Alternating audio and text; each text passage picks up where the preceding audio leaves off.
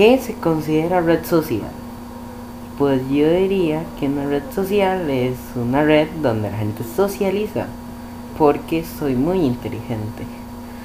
Mi voz cuando hablo así es muy fingida, cosa que tengo que cambiar, en especial el hecho de las pausas y eso, se siente extraño, raro, feo, estúpido, ilógico, igual que el resto de mí.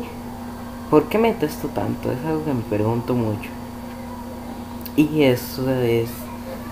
Así es como una persona, un ser humano, empieza a decir estupideces mientras se graba porque soy estúpido ya. Porque quería hablar sobre redes sociales, cosas que nunca uso y terminé hablando sobre yo y odiarme y, y estúpido, cosa que soy. En fin, en fin, en fin. ¿Por qué la gente es así con las redes sociales? Ya no hay privacidad. O sea, cualquier cosa que una persona haga, piense, diga, va a terminar perjudicándose y estando en una red social por alguna razón. Nadie sabe por qué. Bueno, sí, porque somos estúpidos. Es como aquí casual, cagando. Eh, no tiene sentido en lo mismo. Y la sociedad está jodiéndose un poco, demasiado con eso. No no entienden que no es necesario buscar estupidez para tomarse una foto o querer más likes o votos o mm, corazoncitos locos del amor y no sé estupidez de chingaderas. En especial últimamente que no entiendo de dónde demonios sale esto pero hay gente que publica por ejemplo fotos desnudas y saber de dónde demonios salió y por qué por qué las publican hay gente que dice que, ay, me hackearon la cuenta y no sé qué. Ay, es que soy tan pobre persona porque me hackearon, o sea. Y no, si yo no me tomo una foto desnudo, no va a salir una foto desnudo. Y eso es algo que la gente debe cuidarse porque debe hacerlo sí o sí. Y si una persona no se cuida, no, o sea, tiene que atenerse a las consecuencias. Porque si yo hago un comentario insultando a las personas que les gusta Maluma, porque a mí no me gusta, lo detesto, me da asco, sus letras, su manera de ser, su todo. En especial cuando llegó a mi país, que se hizo un despiche, dijeron que, despiche tenía que ser yo, y dijeron que él había estado con un montón de mujeres y chingaderas así. Mm, lo detesto. Y si yo digo que lo detesto, es posible que una persona que no lo deteste me llegue a decir a mí, ¿por qué usted está hablando mal de mi artista favorito? Aunque yo no lo considero artista, pero si una persona lo considera artista, yo tengo que atenerme a las consecuencias y yo digo que no es un artista frente a una persona que dice que sí lo es. Porque hay gente así y hay gente que se odia entre sí.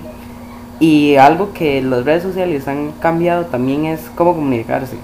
Porque antes no era imposible, es como, ¿cómo me comunico con una persona que está en otro país? Se podía llamar, pues sí, pero era una mierda súper cara y la gente no solía hacerlo. También estaban las cartas y tal, pero igual es... Ahora es muchísimo más fácil uno puede conocer una cantidad de gente. Pero hay otro problema y es que hay gente estúpida, otra vez, que es engañado por internet. O sea, otra cosa que no entiendo. ¿Cómo diantres es que una muchacha termina publicando videos extraños, termina por, agarrando un video de ella extraño. No es porque haya visto alguna página extraña, no, no, no, en lo mínimo, eso nunca lo he hecho. Pero creo que ya eso es. La gente como que dijo ya, pues, ha ocurrido tanto que ya no hay que. No es tan preocupante, se preocupa la gente alrededor de esa persona, pero termina siendo como me, porque yo nunca me grabaría teniendo relaciones sexuales, nunca. Por dinero no, ni por gustos, como por qué demonios lo hago, es algo que yo hago porque yo quiero hacer. Y no voy a hacer dentro de mucho tiempo, 15 años, 14, bueno, 14 en sí, no tengo 15, 15 los cumplo dentro de un tiempo. Pero es estúpido, estúpido. Y pero es una palabra que uso mucho también, dicho sea de paso. Algo más. La gente, detesto a los seres humanos que siempre, siempre, siempre pasan, ay, por ejemplo, estoy con en, en el colegio así tranquilamente y de pronto le dicen a una amiga mía que tiene plan. Hey, hey, préstame el internet, es que necesito hacer racha. No tengo ni la puta idea de qué significa racha, ni en qué red social es, ni qué demonios. Bueno, sé que es una red social. Sé que tiene que ver algo con todos los días y pero no sé qué es. Y es como, necesita internet ahora en el colegio para mandar una foto de mierda para no romper la racha.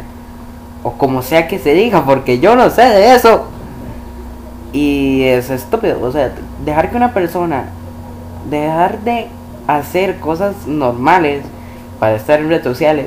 Por ejemplo, mi abuela, mi abuelita, abuelito de método, no mentira, tiene 50 y qué te digo, 56, por ahí, por ahí, por ahí, porque yo soy muy malo con los números y 52, no sé, algo. Y este normalmente, antes ya no, porque ahora está cuidando a, a mis primas, unas nietas de 5 o 7, ay, no me acuerdo.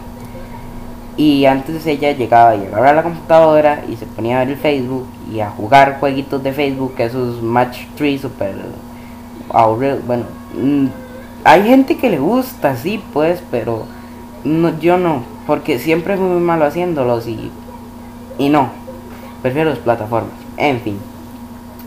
Y a veces eran las, ¿qué, qué diré?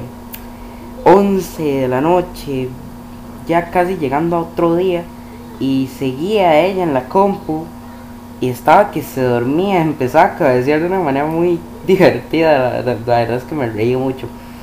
Y llegaba y le decía yo, porque yo le digo tita, le decía, tita, no quieres irse a dormir. Y me decía, no, no, no, no, no, un ratico más, un ratico más. Y ese ratico era de estarse durmiendo, pero todavía está en la compu. es una adicción muy fea.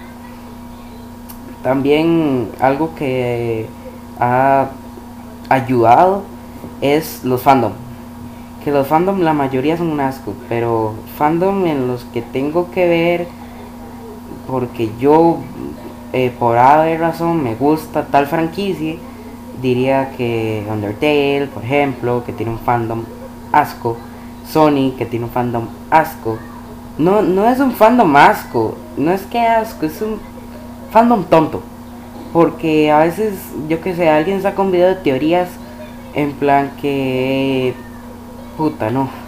Que el Tails Doll es el demonio, no sé qué, no sé cuánto. Y él ayudó a la creación de... Eso es creepypasta. Y hay gente que cree que es real. Y no sé cómo lo hace. Eso es no, no tiene sentido. Y gracias a las redes sociales los fandoms se comunican de mejor manera, se pasan sus imágenes, sus dibujitos, sus fanarts, sus cómics, sus mierdas, etcétera, etcétera, etcétera. Regla 34, que, mm, ay Dios mío, con la regla 34, es como, si está en internet, tiene que haber porno de ello. Y está mal porque ahí está de My Little Pony mi infancia arruinada, infancia entre comillas, porque la última vez que lo vi fue ayer.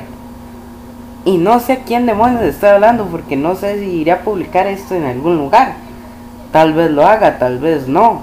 En momento de conversación loca con Mikey. Pero en fin. Recomendaciones que yo doy para usar una red social.